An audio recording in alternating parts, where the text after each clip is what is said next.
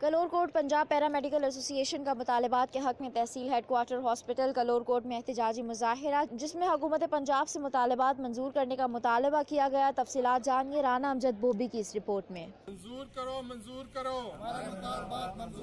بکر کلور کوٹ پنجاب پیرا medical ایسوسی ایشن کا مطالبات کے حق میں تحصیل ہیڈ کوارٹر اسپتال کلور کوٹ میں احتجاجی مظاہرہ حکومت پنجاب سے مطالبات منظور کرنے کا مطالبہ کیا گیا۔ پنجاب پیرا میڈیکل سٹاف ایسوسی ایشن بکر کے عہدیداروں نے مطالبات کے حق میں تحصیل ہیڈ کوارٹر اسپتال کلور کوٹ میں احتجاجی مظاہرہ کیا۔ مظاہرین نے ہاتھوں میں بینرز اور پلے کارڈ اٹھا رکھے تھے، جس پر مطالبات کے حق میں نعرہ درج تھے۔ مظاہرین میں ضلعی وائس چیئرمین رانا عبد الجبار رانا عبد الرحمان ہمیش گل، ساجد علی، بشیر احمد، صلاح الدین سمیت تحصیل بھر سے پیرا میڈیکس موجود تھے۔ اس موقع پر رانا عبد الجبار و دیگر مقررین کا کہنا تھا، ہم وزیر اعلی پنجاب سے اپیل کرتے ہیں کہ ان کا معاشی استحصال روکا جائے۔ ہمارے تمام مطالبات تسلیم کیے جائیں، ان کا کہنا تھا پیرا میڈکس کو ہیلتھ کیئر کمیشن میں بطور ہیلتھ پرووائڈر رجسٹر کیا جائے ڈسپینسر کو ڈرگ سیل لائسنس دیا جائے پیرا میڈکس کو ہیلتھ رسک الاؤنس دیا جائے اور پروموشن ٹائم سکیل کے مطابق کی جائے۔ پیرا میڈکس کو پنجاب میڈیکل فیکلٹی کی گورننگ باڈی میں شامل کیا جائے۔ مظاہرین کا کہنا تھا کہ اگر ہمارے مطالبات پورے نہ کیے گئے تو ہم کام بند کر کے بھرپور احتجاج کریں گے۔ Rana Majd Bobby C N N Pakistan, Bhakkar.